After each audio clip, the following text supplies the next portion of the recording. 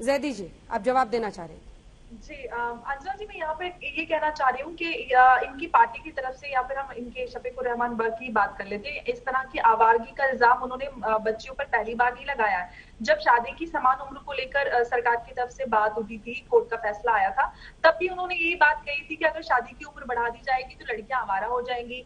या फिर अगर जो महिलाओं के साथ जिस, इस तरह के अपराध होते हैं सेक्सुअल क्राइम्स होते हैं, या रेप की घटनाएँ हुए तो इनकी पार्टी की तरफ़ से ये बात कही गई। हालाँकि अब मुलायम सिंह यादव जी अब इस दुनिया में नहीं है उनका बड़ा सम्मान है, लेकिन उन्होंने ये बात कही थी कि लड़के हैं लड़कों से गलती हो जाती है।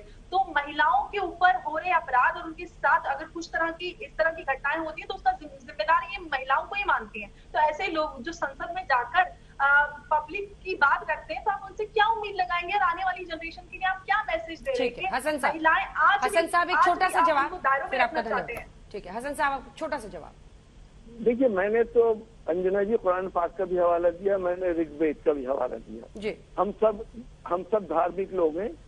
टीवी पर बैठ के हम कितनी बड़ी बड़ी बातें कर लें और हम सबको ये मालूम है कि यहाँ से जाने के बाद हमारे पल पल का हिसाब होना है। तो जो जो हमारे लिए रूल्स रेगुलेशन वहाँ से बने अब कोई करता है कोई नहीं करता। ये वो जाने जो नहीं कर रहा है वो जाने वो अपने मालिक को जवाब देगा जो करता है वो वो जवाब देगा।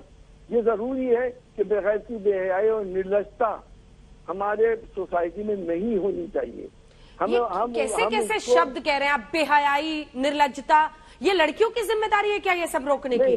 कैसे बात कर रहे हैं? आप सांसद हैं। इस देश की संसद में बैठते हैं साहब आप। आप आप फिर तो मरो नहीं। मैं कह रहा हूँ ये चीज़ें नहीं होनी चाहिए समाज में। आपने कहा बेहाई है निर्लजता है। क्या मतलब था आपका? मैं आप ही को मौका देती हूँ मतलब, हाँ मत, मत, मतलब ये था कि ये ये लिविंग रिलेशनशिप क्या है? क्यों रिकॉग्नाइज क्यों रिकॉग्निशन दिया हमारी सोसाइटी ने इसे? होमोसेक्सुअलिटी क्या है? ये बेहयाई नहीं है बेगैरती नहीं है। रुक जाइए मिस जैदी प्लीज़ बीच में मत बोलिए आवाज़ नीचे कीजिए हाँ। क्या है बेहयाई क्या है? हिंदुस्तान की तहजीब है। क्या है? मैं मैं मैंने आपसे ये कहा ना कि ये ये सब कुछ जो हो रहा है ये सब नहीं होना चाहिए। हम सब धार्मिक लोग हैं। बेहयाई और बे, बेशर्मी क्या है जो आप देख रहे हैं? क्या है? ये ये ये लिविंग रिलेशनशिप क्या है? हाँ। ये होमोसेक्सुअलिटी क्या है? क्या ये सब बताया क्या ये हमारे धर्म इस बात की इजाज़त देते हैं। हम क्यों रिकॉग्नाइज कर रहे हैं इन चीज़ों को आज? अब आप कानून और संविधान के भी खिलाफ बोलेंगे। नहीं हमने हमने पार्लियामेंट में उठाई है ये आवाज़। इसे बैन होना चाहिए या हमारी तहजीब नहीं है हिंदुस्तान की तहजीब नहीं है ये। अब आप कुछ भी समझ लें। अब आप हिजाब को लिविंग रिलेशनशिप से जोड़ रहे हैं अब आप लिविंग रिलेशनशिप और होमोसेक्सुअलिटी से हिजाब को जोड़ रहे हैं। आप देख रहे हैं आप क्या बोल रहे हैं? आप सुन रहे हैं अपने आप अभी अभी आप बेहयाई बेहयाई की बात कर रही थी अब आपने हिजाब को जोड़ ऐसे शब्द तो सर आपके वो कैबलरी में है मुझे तो समझना पड़ा कि इस देश के माननीय सांसद साहब क्या बोलना चाह रहे हैं सर? आपने वर्ड लाइए सब वरना ऐसे शब्द हमारी ज़ुबान पे नहीं आते।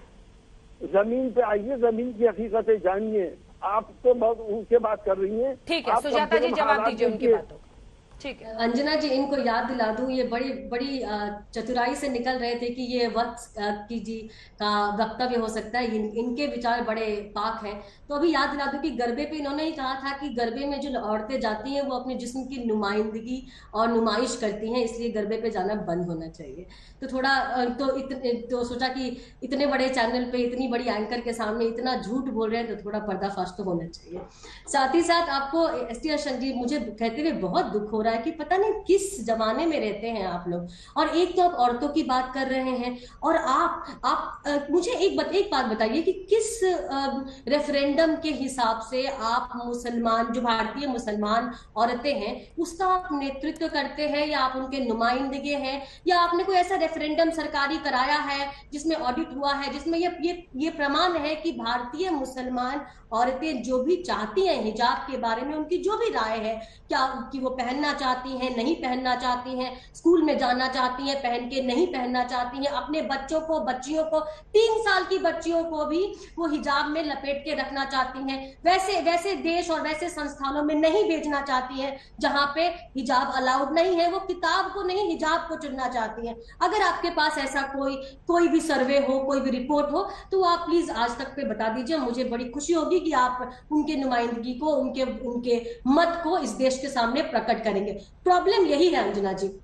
कि पहले तो ये मामला खत्म नहीं हुआ है हाँ। मामला अभी सिर्फ़ स्प्लिट वर्डिक्ट आया है हमको नहीं पता कि ऊट किस करवट बैठेगा हाँ। अभी अभी जो जो हाईकोर्ट का फैसला था कर्नाटका का वो अभी भी वैसा ही है हाँ। दूसरी बात आपको थोड़े आपको ये अवसरवादिता नहीं लगती अंजना जी कि यही सुप्रीम कोर्ट था जब उसने ट्रिपल तलाक पे फैसला सुनाया था तो यही सारे लोग थे जो कह रहे थे ये तो बैड इन लॉ है ये तो धार्मिक हस्तक्षेप है और आज एक जस्टिस दुलिया के कोर्ट ऑब्जर्वेशन को, कोर्ट पे कोर्ट किए जा रहे हैं और कह रहे हैं कि यही तो सही रास्ता रास्ता है। तो ये बता दें कि या तो या तो वो ट्रिपल तलाक का मामला सही हो सकता है, या फिर इसमें जो मामला आएगा, चाहे वो किसी भी करवट उठ बैठे वो उसको मानेंगे।